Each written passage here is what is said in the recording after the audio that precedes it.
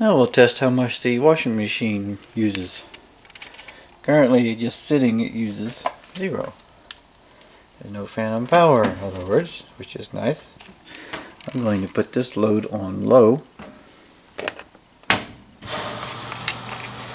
And to turn the water on, jumped up to 14.6, I'm going to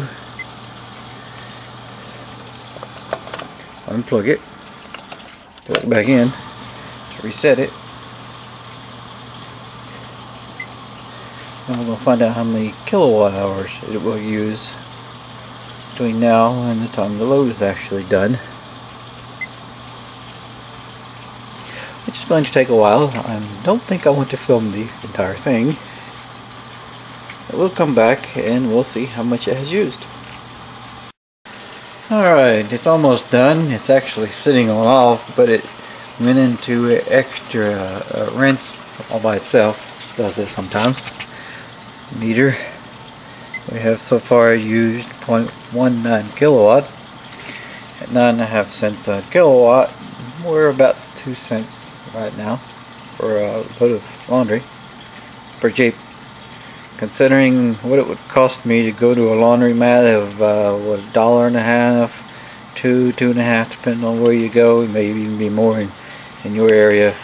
Two cents a load is really cheap. Alright, now that it is finished, power usage is 0.26. That is uh, a little more than a quarter. Currently using nothing